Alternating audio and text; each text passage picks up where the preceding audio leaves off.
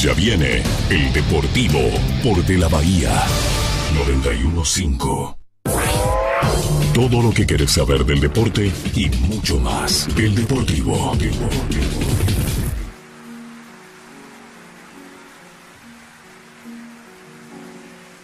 En las buenas y en las malas, a mi lado siempre tú, de una forma sobrehumana, a mi lado siempre tú.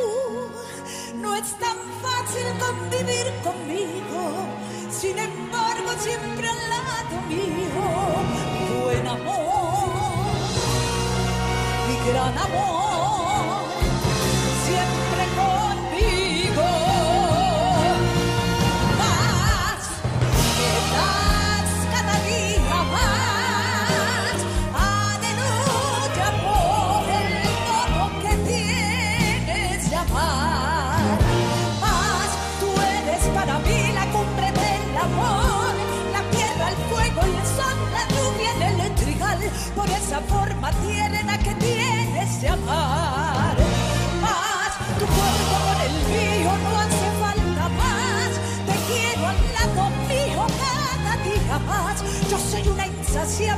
siempre más.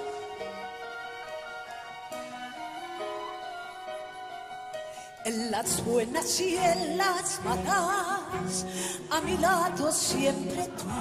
Es el tiempo donde Argentina comienza a madurar su gol. Cuchufo, el socio de todos. El tiro libre que se tiene que hacer por Fuchaga desde la punta derecha. Está Maradona, Brown, Batista, Ruggeri y Valdano metidos en el área. También Enrique. Seis jugadores. Viene el centro. Batista. ¡Gol! ¡El Tata! ¡Grande Tata! ¡Gol! Argentino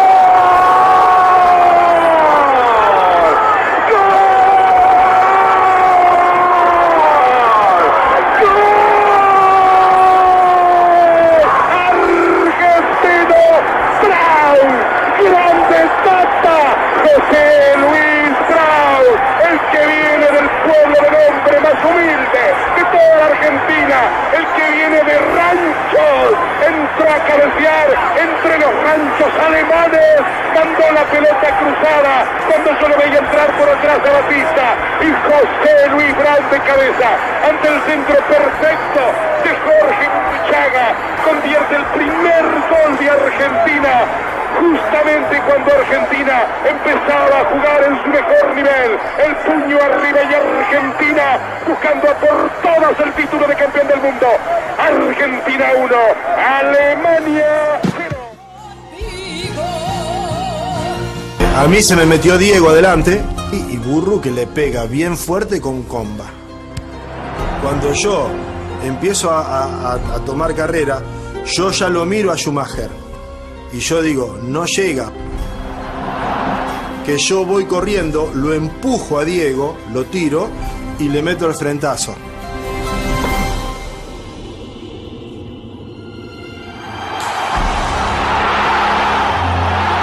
Ya, cuando yo le meto el frentazo, yo no miro más la pelota. Y salgo a festejar el gol.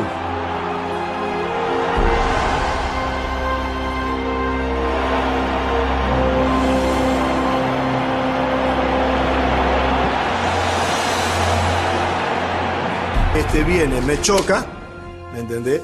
Me pega acá en la articulación. Tenía todo, todo, todo esta, esta zona, los bíceps, la articulación, un dolor insoportable, insoportable.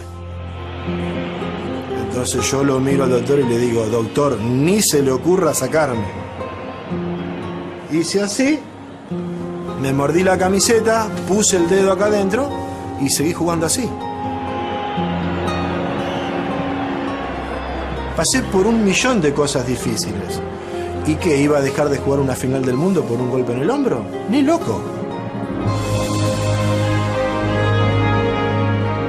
Vos no te das una idea el orgullo que yo siento de haber hecho un gol en una final del mundo para mi país. Yo soy una insaciable, quiero siempre. Ayer murió el Tata José Luis Brown, defensor campeón del mundo con la selección argentina en México 86, tenía 62 años, campeón con estudiantes, también jugó en Boca y en Racing y al momento de ser convocado para la Copa del Mundo del 86, el Tata venía de jugar a préstamo en Deportivo Español, aunque Carlos Vilardo ya lo conocía de su paso por el pincha y tras la salida de Pasarela terminó siendo el compañero de saga del cabezón Ruggeri. Hizo el primer gol de la final frente a Alemania, aquella final en la que terminó con una luxación de hombro, aquella final de la famosa camiseta rota en la que el Tata le hizo un agujero con los dientes para sostener el brazo y que el inmenso dolor sea menos doloroso. Claro, por nada del mundo iba a salir de la final del Mundial. Uno de los tantos de esa camada de la selección que hizo del dejar todo en la cancha algo literal. Como no podía ser de otra manera, arrancamos el Deportivo de hoy con el Tata Brown, inolvidable guerrero de la selección argentina.